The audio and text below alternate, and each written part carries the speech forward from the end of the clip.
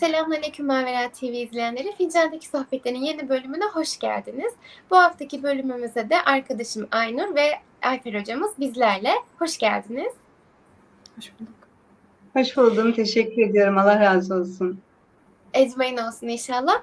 E, bu hafta Allah nasip ederse inşallah anne olmak üzerine konuşacağız ve e, yine böyle istişare ederken e, hem bu konuda uzman olan yani hem teorikte hem de pratikte aslında tecrübelerini aktarabilecek e, birini davet etmenin daha doğru olacağını düşündük. E, sağ olsun Ayfer hocamız da bizleri kırmadı ve bu bölüme konuk olmayı kabul etti. E, bu bölümü inşallah kendisine soracağımız sorularla tamamlayacağız. E, ama önce isterseniz Ayfer hocam siz kendinizi izleyenlere tanıtın. Daha sonra sorularımıza başlayalım Allah'ın izniyle. Evet. Allah razı olsun. Beni davet ettiğiniz için gönlüm ihya oldu ve aynı bununla beraber şeref duydum. Ee, hem fincandaki sohbetlerin fincan desenlerinden birine bir desen olmak hem de konu çok güzel. Bu konuda böyle yer almak beni çok e, mutlu etti. E, ben Ayfer Karademir, psikoterapistim. E, rehberlik danışmanlık alanında e, yaklaşık 10 yıldır hizmet veriyorum. Mabet Psikoloji Akademi'de de şu anda hem online hem yüz yüze danışan görmekteyim. E, bununla beraber psikoloji, psikoterapi alanının dışında da inanılmaz bir manevi ilimlerle e, haşır neşirim. Çok da seviyorum. E, iyi bir manevi ilim okuyucusuyum. En başta da insanı okumayı çok severim. Ya Allah razı olsun. Böyle söylediklerin içinde tekrar çok teşekkür ederiz gerçekten. Ee, böyle şey hani bazı sıfatlar, bazı kavramlar insanın e, yüzüne ve uslubuna sirayet eder ya bence yani öyle. Bilmiyorum Aynur da benimle aynı fikirdedir muhtemelen. o yüzden bu akşam e, sizinle buluşmak bizim için de ayrıca çok büyük bir şeref oldu. Allah razı olsun. E, biz böyle özellikle bu modern zamanın böyle en sancılı kavramlarından biri olan annelik üzerine konuşalım istiyoruz e, bu akşam. E, bizler henüz anne olmadık ama işte danışanlarımızdan, etrafımızdan, akrabalarımızdan, tanıdıklarımızdan anne olan insanlar var ve onların yaşadığı bazı şeylere şahit oluyoruz. E, bazı girdikleri sorulardan nasıl çıkamadıklarına şahit oluyoruz ve e, tabii ki de bu süreçte e, birer psikolog olarak bazen soruların muhatapları olabiliyoruz. E, o yüzden de böyle çok hassas ve çok kıymetli bir nokta. E, belki bir noktada kendi hem fikirlerimizi belirtmek için çok riskli de bir alan. Ee, bir noktada gerçekten kıymetli bir kaynaktan, e, ilimden ve bilimden konuşmak e, gerekiyor. E, Fincan'daki sohbetlerin klasiği olan tanım sorularımızla başlayacağım. Annelik nedir diye soracağım hem size hem de Aynur'a. E, ama ben aslında bu tanımı e, böyle TDK'nın yaptığı bir tanım olarak değil, sizin için annelik nedir, anne nedir sizin için? O yüzden her ikinizden de izninizle dinlemek istiyorum inşallah. Allah razı olsun. Ee, önceliği almış bulunayım anne olarak.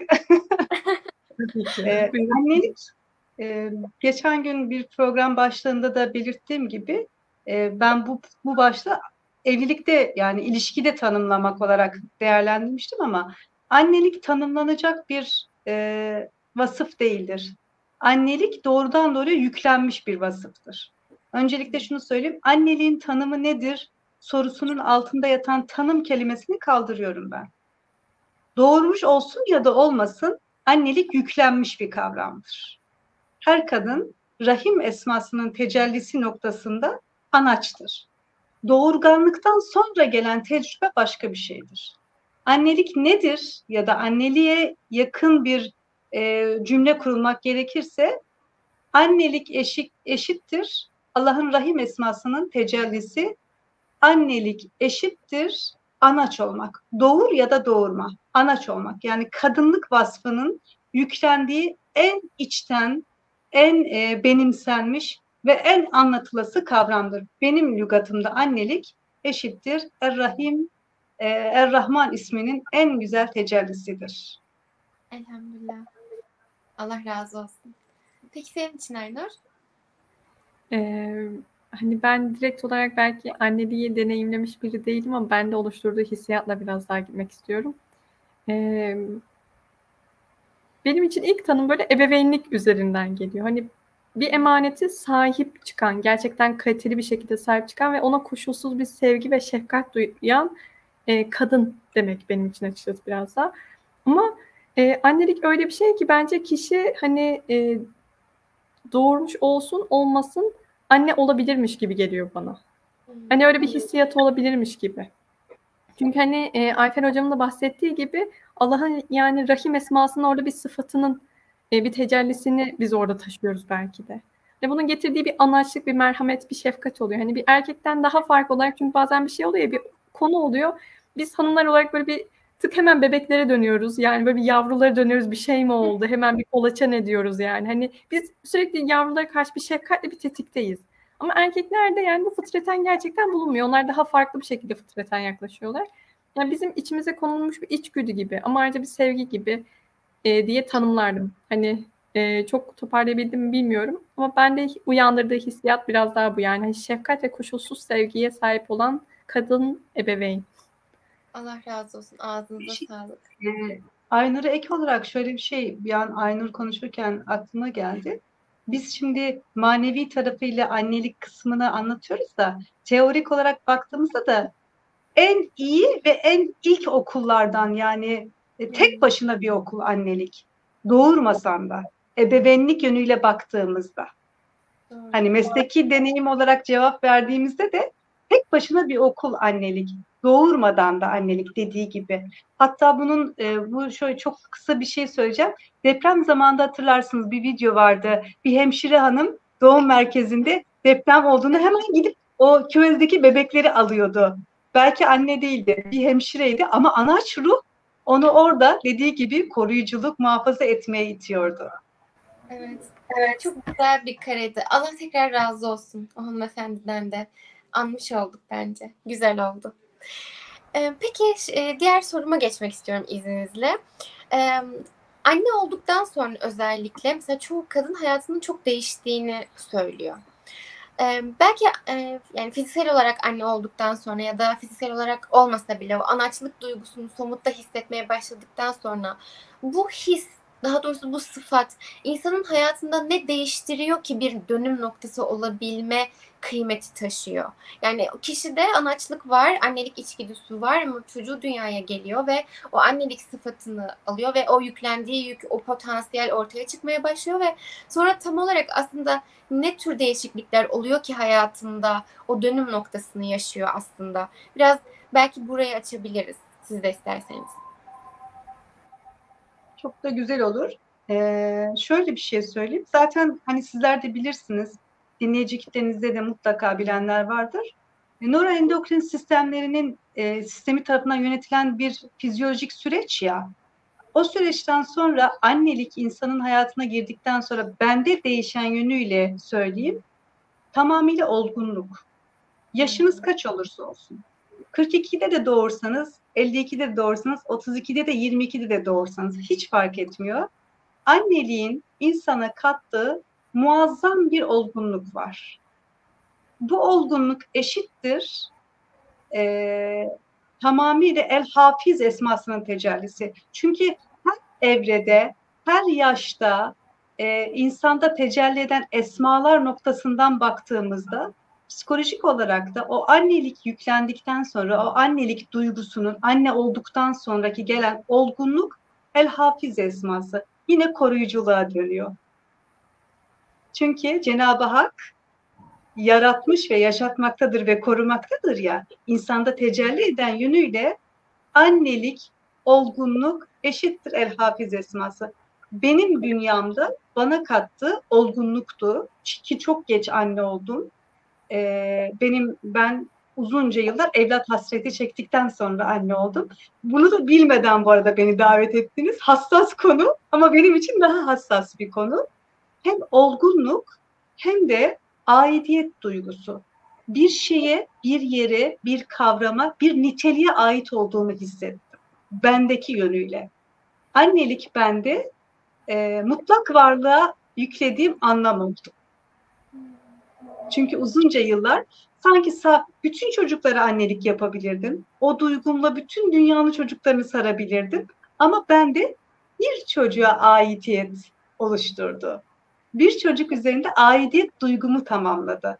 Belki de ailemde, belki de kendi yaşantımda hep anaç ruhlu benim biz kız kardeşler olarak da e, yani yakın çevremdeki kuzenlerim olarak inanılmaz bir anaç ruhlu ailenin çocuğuyum. Orada sistemim oturdu. Olgunluk ve aidiyet bende tam yerini buldu annelik olarak. Annelikten sonra bana yüklenen sıfat oldu öyle söyleyeyim. Yani ünvan olarak her şeyle anılabiliyoruz arkadaşlar. Doktor, mühendis, öğretmen, psikolog, psikiyatr her şeyle anıl. Ama bende olduğu vasıf hangi ünvanla anılırsam anılayım Ahmet Agah'ın yani oğlumun annesi olarak anılmanın verdiği bir aidiyet duygusu oluştu. Elhamdülillah. Evet, Çok güzeldi ve çok da duygulandım dinlerken. Ağzınıza sağlık. Allah razı olsun. Yani bu olgunluk noktası gerçekten çok kıymetli ve bazen e, hani etrafınızdaki insanlar tarafından da çok net görülebilir bir e, dönemece sebep oluyor bence insanın hayatında. E, o yüzden de ekstra kıymetli diye düşünüyorum. Allah inşallah e, güzel somut bir şekilde bu dönemeçlerden geçmeyi nasip etsin hepimize cümlemize yani. Çünkü Amin. yani hayatımıza katılan her sıfatla e, aslında şey gibi geliyor bana. Yani benim hayatımda şu an yeni bir sıfat varsa onun altından da muhakkak Allah'ın bir tecelligahı oluşum çıkacak. Benim oradaki hatta bunu Aynur e, hep söyler. Yani orada böyle bir hani şey esma aramam gerekir. Hani orada bir bir esma bulacağım ben illerken. Çünkü Allah her yerde her şeyi Allah yaratıyor ve her an yaratıyor. Her an yaratmaya devam ediyor. Hani bu sıfatın ardında da aslında Allah'ın belki de benden tecelligahı olduğumu e, hissetmemi istediği ve e, somut olarak yani fiile dökmemi istediği bir nokta var. Bunu bulmam gerekiyor belki de.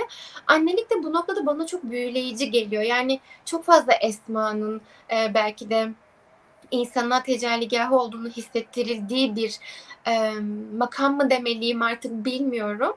E, ama dediğiniz gibi e, yani anne olmadan da aslında o e, sıfatları e, o sıfatların tecelligahı olma şerefine aslında nail oluyoruz bir noktada. Ama bunu ne kadar farkındayız galiba orada biraz eksik kalıyoruz. E, o yüzden de hani e, anne olduktan sonra bir şeyler daha galiba somutlaşıyor bizim için. Yani o tecelligahların daha farkına varıyormuşuz gibi geliyor.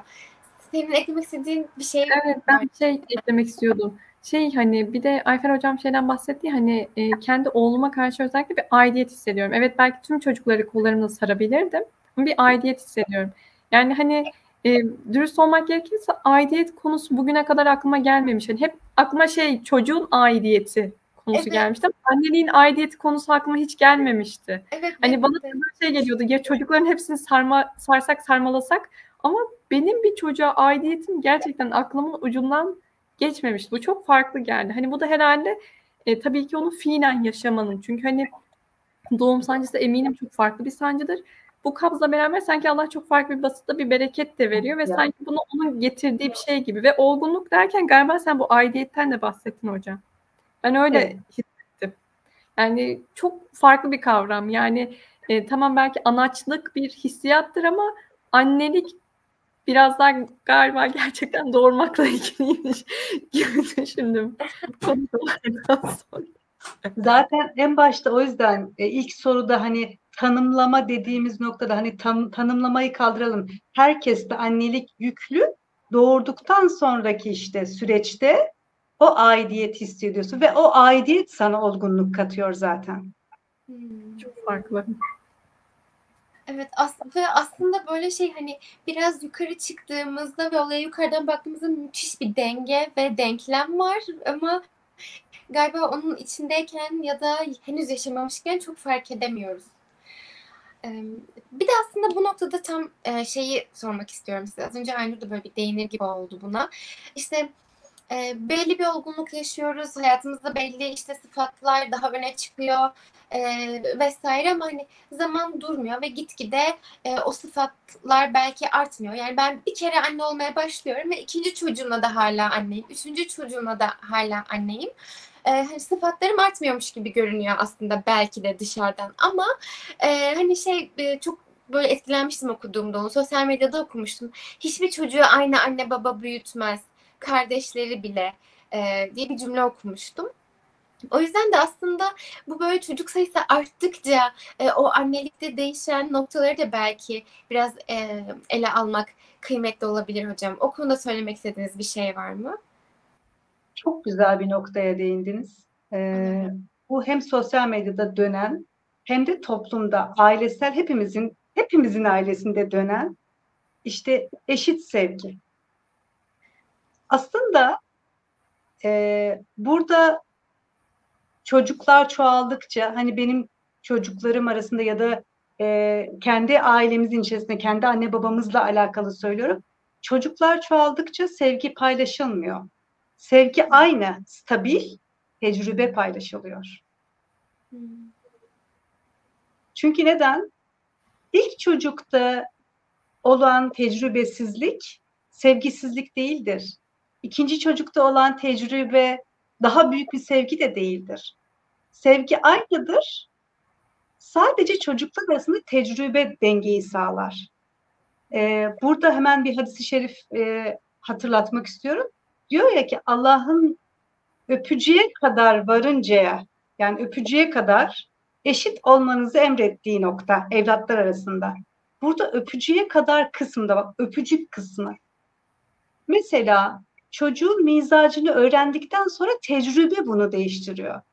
Üç çocuğunuz var. Biri inanılmaz dokunsal, biri dokunsal değil. Siz öpücüye kadar eşitlik kavramını bazen uykuda veriyorsunuz. Hani babam bizi uykuda çok öperdi, annem bizi uykudayken öperdi kısmında sevgisizlik değil aslında o. Eğer gerçekten iyi bir ebeveyn, iyi bir anne, evladını iyi tanıyan ya da kendini iyi tanıyan birey olduğunuzda sevgi aynı, doz aynı. Sadece tecrübe farklı oluyor. Mesela Burada, ben evet çok özür dilerim. Aklıma şey getirdi aslında hani adalet her zaman eşitlikle gelen bir şey değildi burada aklıma getirdi. Yani her çocuğun o sırada sevgiyi görme şekli farklı. Bu yüzden farklı farklı da göstermek gerekiyor. Hatta farklı göstermekle de beraber hemen e, Cenab-ı Hakk'ın elvedud esmasına değinelim. Hak Teala bizi sevdiği için yarattı ve yaşatıyor değil mi? Elvedud esmasının tecellisi. Şimdi annelik kulluğu tecellisi de doktorası. Nasıl doktorası? Yani bu noktadan baktığımızda nasıl burayı tanımlayacağız? Şimdi Cenab-ı Hak bizi eşit seviyor. Yarattı ve yaşatıyor. Seni de yaşatıyor. Ee, Nadide Aynur'u da beni de yaşatıyor. Bizim davranış metotlarımız, bizim davranışsal kaidelerimiz ahirette bedel olarak verecek değil mi? Adalet tecellisi dediğimiz işte bu. Bu noktada kendimize çevirdiğimizde biz evlatlarımızı eşit severiz. Yani birinin de parmağı acısa aynı şekilde canımız yanar. Birinin yanağına da bir sivilce çıksa eşit yanar. Ama davranışlarımız büyüdükçe ailemize işte o en baştaki aidiyete geri dönüyorum. Biz çocuğumuza bir aidiyet duyduk ya. O aidiyete o ne kadar sahip çıkarsa davranışlardaki dengeler de işte bunu tecrübe haline aldırır. Bu te, bu tecrübe haline almış sevgi azalmaz. Sevgi aynıdır ama yönetim farklılaşır. Hmm. İşte burada çocuklarımız bunu sevgi anlayışı olarak alırlar. Ya da biz 5 yaşında sevdiğimiz bir çocuğun sevme şeklimizle 25'te aynı sevemeyiz. İşte oradaki sevgi dengesi tecrübeyle değişir. Bazen e, mesela ileriki çok çok ileriki yaşlardaki annelere baktığımızda koca koca delikanlı oğullarını, koca koca kızlarını bebek gibi severler. Orada da çünkü anne artık bebek olmuştur. Aidiyet evlada geçmiştir. Roller değişmiştir. İşte annelik tam olarak bu noktada e, Elvedud esmasının tecellisi ve doktorası. En tavan yaptığı nokta. Çünkü sevgi her türlü her şeye duyulabilir ama içinde en yoğun şefkatin barındığı his anneliktir. Ve şefkatli doruk noktadır elvedud esması. Şey aklıma geldi Ayfer Hocam sen böyle bahsederken. E, danışanlarla çoğunlukla çalışırken annelik öyle bir değer olarak geliyor ki sırf değer gibi değil ayrıca hani çok ciddi bir görev gibi de görev geliyor hani. Hani o aklıma geldi. Hani annelik öyle bir yerde ki o kadar değerli bir yerde ki artık hani diğeri bırakın artık göreve odaklanılmış hani olmalı bunlar. Asla bir şey eksik kalmamalı. Onu korumalıyım, kollamalıyım. Şefkat. E, gerçekten bunlar kıymetli de duygular. Ama e, hangi hocada dinlemiştim? kim ne dinlemiştim şu an hatırlamıyorum ama şuna değiniyordu. Ee, insanın her hali çok kıymetli. Yani böyle sevgiyi, şefkati hissetme anları çok kıymetli. Annelerin de kesinlikle çok kıymetli.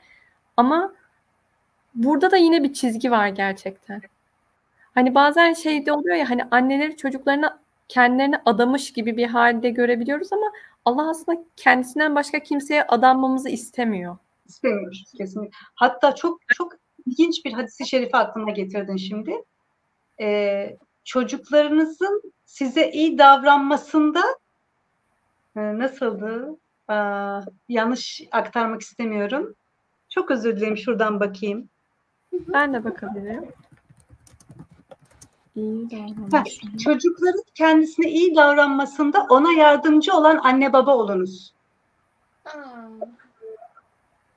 Ne kadar kıymetli değil mi? Bak evet. çocukların kendisine iyi davranmasında yardımcı olan anne baba. Görev kısmına geldiğimizde allah Teala zaten çok ciddi bir görev yüklemiş. Ama bu yüklenmenin dışında öyle bir asırda hatta ben e, başka eğitimlerimizde ve başka derslerimizde de söylemiştim. Belki hatırlarsın Aynur'cum. Ne diyordu? Biz ikinci cahiliye dönemini yaşıyoruz. Burada annelik kavramı annelikle beraber devam ederken kulluk kavramı da çok yoğun işlenmeli. Kesinlikle. Çünkü hani bizim kendimize adayabileceğimiz yer kulluk. Yani bazen eee, o şekil yani büyük de konuşmak istemiyorum. Çünkü öyle bir durum bence çok farklı bir imtihanı da var onun kesinlikle ama eee, kişi yine de Rabbini öncelemeli. Kesinlikle. Yani kulun kulluğun daha önce bir yerde tutmalı. Ki aslında kulluğun daha önce bir yerde tutanların da anneliğinin de böyle ilişkileri daha dengeliymiş gibi geliyor bana uzaktan bakınca. Yakın olan halini bilemem.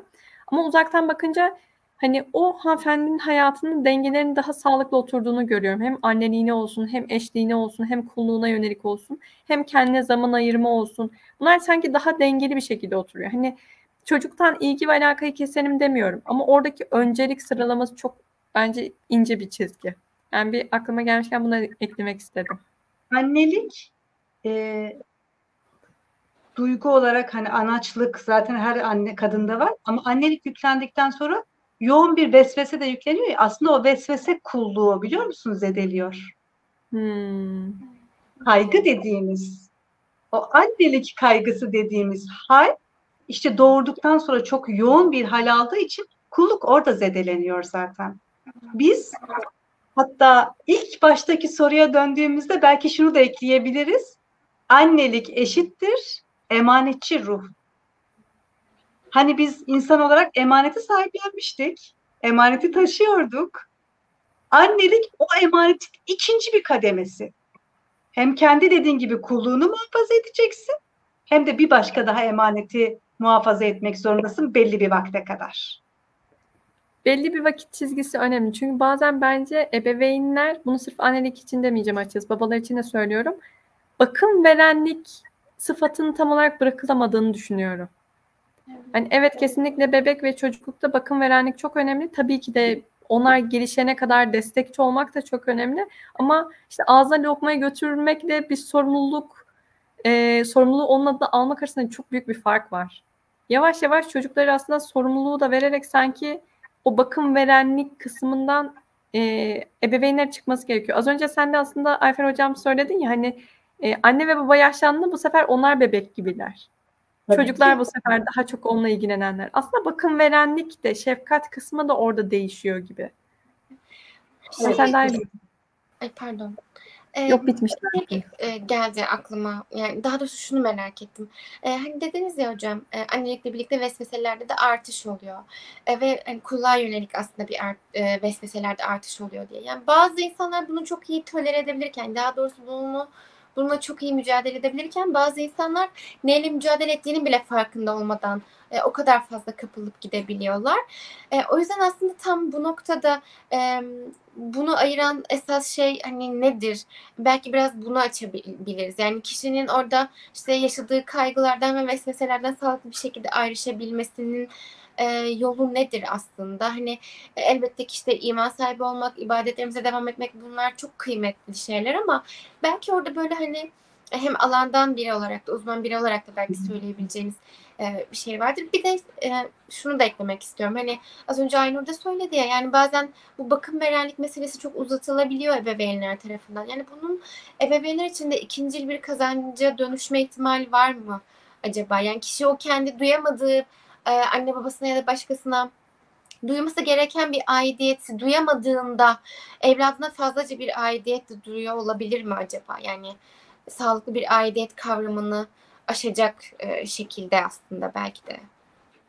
Tabii ki. Çok çok güzel bir soru oldu bu. Şöyle bir şey. Şimdi burada hani vesvese ve kaygının yüklenmesi ayrıştırma konusunda öncelikle konuyu çok iyi bilmek. Yani neden vesvese? Mesela kendimden örnek vereyim. Hani burada benim anneliğimi konuşalım.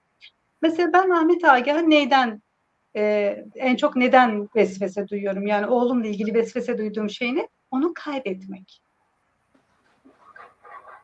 Yani kaybetmekten kastım vefat ve ölüm noktası değil, kaybolması. Bu kaybolma meselesi, ben bu vesveseyi kendime döndüğümde e, belki de çocukluğumda işte yine aidiyet meselesi bir yere ait olamama, sürekli bir kalabalık, bir yoğunluk içerisinde kaybolmuş olmanın verdiği bir hisle onun hep kaybolacağını, onu toplumda kaybolmuş bir birey olarak anılmış olmasından korkmaktan bir vesvese duyduğumu fark ettim. Ve kendi içime duyduğum, döndüğümde gerçekten kendi duygularımı çocuğa yansıttığımı fark ettim. Hatta e, çok kıymetli bir hocam var, Fatma Biçer Bostancı hocam. E, bilişsel davranış terapisinde de yazıları çok aktif olan, aynı zamanda bir çok da güzel bir kitabı olan bir yazar hocamız. E, aynı zamanda da meslekten. Bir gün kendisiyle konuşurken şöyle bir şey konuşmuştum. E, ben örümcekten çok korkan biriydim. Bakın örümcekten, ya bildiğimiz örümcek. Örümcekten korkan biriydim. Ahmet Agah bebekken köye gittiğimde ağzına örümcek korkar, girer korkusuyla hep örümcek arıyordum duvarlarda. Ve Ahmet Agah 5 yaşına geldiğinde örümceğin olduğu hiçbir yere girmiyordu. Ben bunu sesli söylemediğim halde. Bunu sesli dile getirmedim. Sadece davranışsal olarak örümcek ağlarını silme, sürekli olarak bir yerde örümcek var mı diye bakma. Bu örümcek zihni de nereden geliyor onu da söyleyeyim. Bereketsizlik ve hastalık olduğunu düşünme durumu. Bendeki kaygıya bakın, çocuğa yüklediğim kaygıya bakın. Bunu bile getirmeden davranışsal olarak yükledim ben ona. Belli bir evreden sonra, aa dur Ayfer, sen hem meslektesin, hem böyle bir hata yapıyorsun, hem de çocuğu e, aynı zamanda riske atıyorsun. Sonrasında önce kendini, bu ne, ne gibi bir zarar, ayrıştırma konusuna gelelim, ne gibi bir zarar verebilir? Allah'ın dilemediği ne olabilir? Durdum ve düşündüm. Hatta bu konuda uzun uzun tefekkürler ettim. Sonrasında yıllarca bebek hasreti çektiğim günler geldi aklıma. Allah dilemeseydi bunu sana vermezdi ki. Şimdi verdi, dilerse alacak. Dilerse büyüteceksin. Onun izni olmadan yaprak dahi kımıldamıyorsa sen bu gemidesin. Yükünü gemiye bırak. Çünkü bu gemi sen yükünü sırtında taşısan da gidecek, taşımasan da gidecek. O gemi varacağı noktaya varacak. Sen anne de olsan varacaktı, olmasan da varacaktı. Sen bu vesveseyi, bu kaygıyı kendinden bir ayrıştır bakalım. Sonra örümceğin ne kadar, örümceğin ne kadar küçük olduğunu kendime gösterdim. Bu düşüncelerle. Yoğun yoğun bunu düşünmeye başladım. Yoğun yoğun bunu hissettim.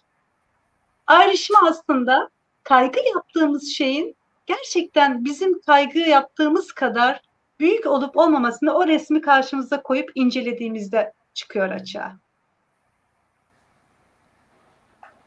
Allah razı olsun. Ve böyle şey gibi hissettim aslında hani bölüme başlarken de şey demiştiniz ya hocam hani illa anne olmak için doğurmak gerekmiyor işte anaçlık hepimizde var falan diye. Bu aidiyet hissi ve aidiyet sancısı aslında bizde hep var.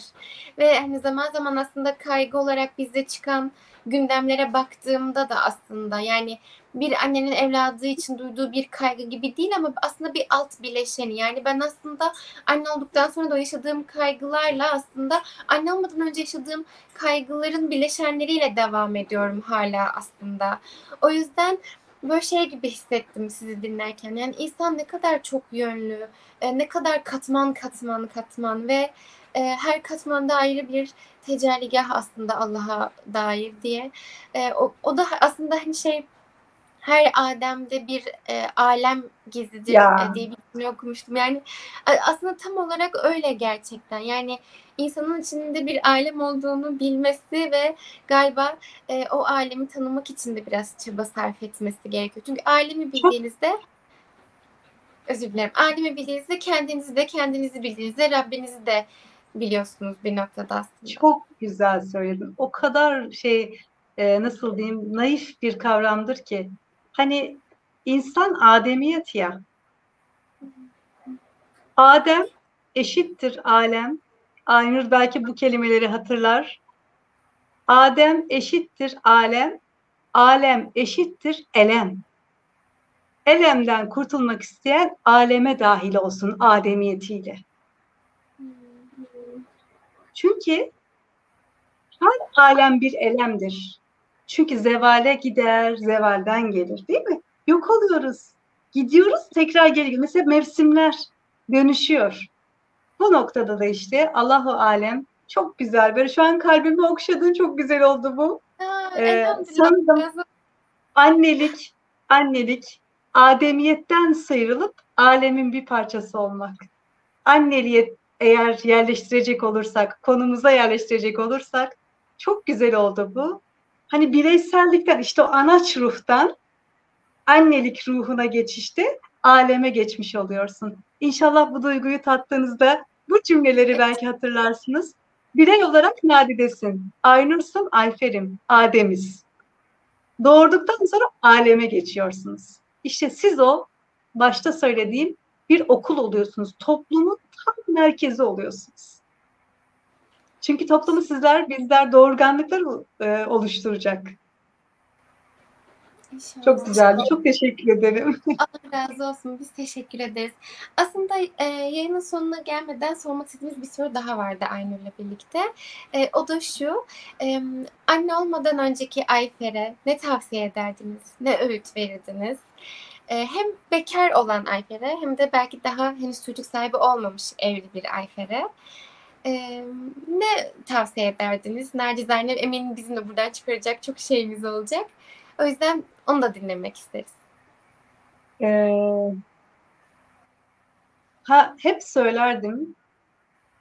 Eğer gençlik yani şöyle 20'li yaşlarıma geri dönüp 19'da 18'li yaşlarıma geri dönüp kendime bir şey söyleyecek olsaydım hep şunu söylerdim.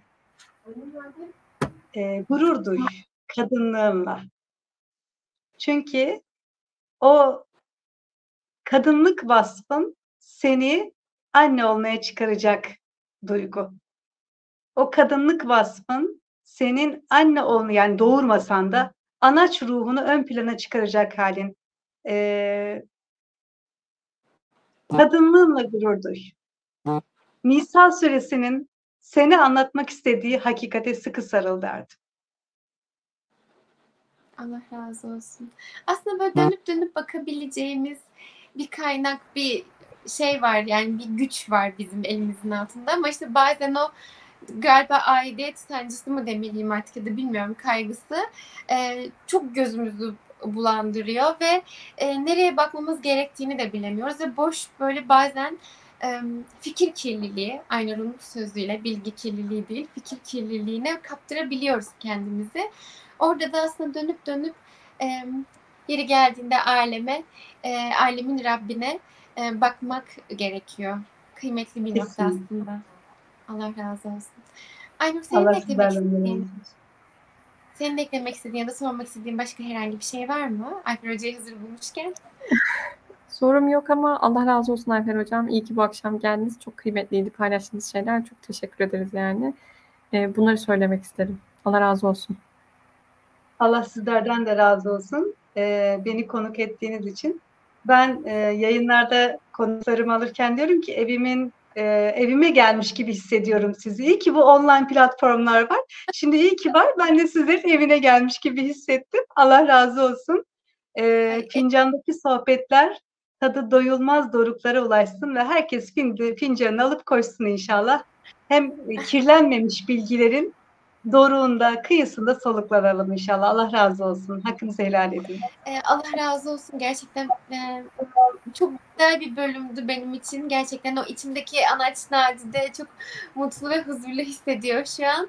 Ve e, yine dediğim gibi hani bazen işte bazı sıfatlar bizim yüzümüze ve üslubumuza sirayet ediyor. Gerçekten öyleydi. Yani annelik e, konusunu konuşabileceğimiz en güzel insanı belki de Allah nasip etmiş bize ve davet etmişiz. Yani bölümünü tamamlarken de bunu hissettim gerçekten. Allah razı olsun. E, bizimle paylaştığınız her şey için de çok teşekkür ederiz. Ağzınıza sağlık tekrar. Allah razı Allah olsun. razı olsun. Çok Ecmaîn. teşekkür ediyorum. Sağ olun. Allah razı olsun. O zaman. Ticari Sohbetler'in bu bölümün sonuna geldik diyebiliriz Allah'ın izniyle. Haftaya yeni bölümde tekrar görüşmek üzere. Kendinize çok iyi bakın. Dikkat edin inşallah. Thank you.